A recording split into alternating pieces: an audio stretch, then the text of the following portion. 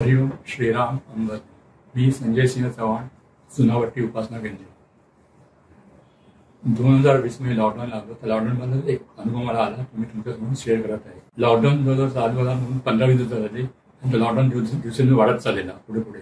तर त्या टेन्शनमुळे मला एक दिवस अपरात्र केला. असं एकदम कसं घाबरला का होतं.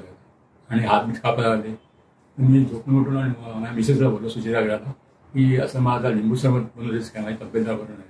तरी काय झालं तुम्हाला? म्हणजे काय नाही म्हटलं. हिला सांगितलं की टेन्शन घे म्हटलं तू लिंबू सरबत मला बनवून दे. तिने बनवून दिला मी प्यालो आणि परत झोपलो.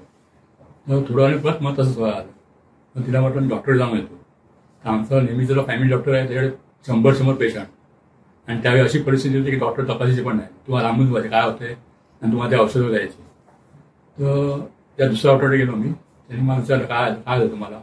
मी सांगितलं असं बाकीचं विचारलं मग अवघड होतं काय काय काय? म्हणलं काही नाही. सर सर्दी वगैरे काही नाही.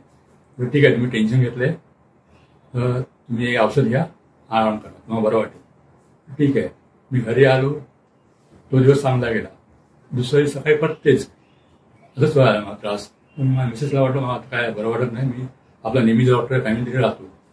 तर ते सकाळी लवकर गेलो नंबर लावला मी. आणि तिथे पण शंभर शंभर रुपये होते नंबर.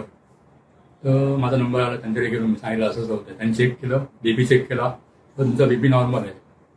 तर बाकी तुम्हाला प्रॉब्लेम नाही वॉमिट होते काय बरं सगळं विचारून घेतलं. चौकशी केली म्हणजे काय नाही. तर ठीक आहे इंजेक्शन घेत आहे म्हटलं तिला इंजेक्शन द्या. तर इंजेक्शन दिलं मला गोळ्या दिल्या मी घरी आलो. त्या दिवशी माझा बारा मेला बड्डे होता. तर घरी आलो आणि अर्धा तास आम्हाला ऑफिसमधून फोन आला. की संजय कसं आहे? तुझी तब्येत ठीक आहे ना? सगळं ठीक आहे ना? घरची मंडळी? ठीक आहे ठीक आहे. अच्छा एक काम कर एक ड्युटी आहे. मी चार पाच जणांना विचारलं कोण कळायला तयार नाही त्या लॉकडाऊनच्या काळात. टेन्शन मी घाबरून. तर तू करशील काय म्हणलं करतो मी. तर ते बोलले असं असं लांबून लांबून पिकअप आहेत. डोंबिवली कल्याण अंबरनाथ टिटवाळा बदलापूर. तर पंधरा दिवस ड्युटी चालेल.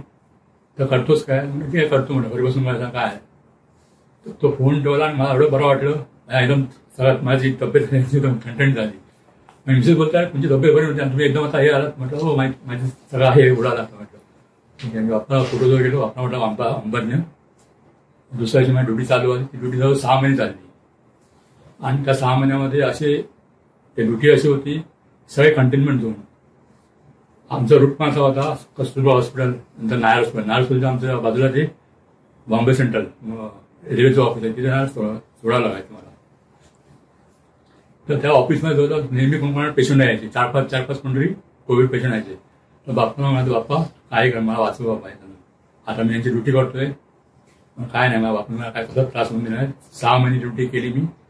मला कसलाच त्यांनी बापून त्रास नाही दिला. मला काय याच्यापासून वाचवलं? खूप खूप अंबाने बाप्पा. हा हे सगळं बापूच आपलं घडवून आणू शकतो. आणि ह्याच्यामध्ये मला कसलीच झळ पण पोचून दिली नाही. घरामध्ये सगळं माझी बँक बँगलोरला गाडी होती. सगळं गाडीचे हप्ते व्यवस्थित गेले. आणि सर्व काही व्यवस्थित झालं.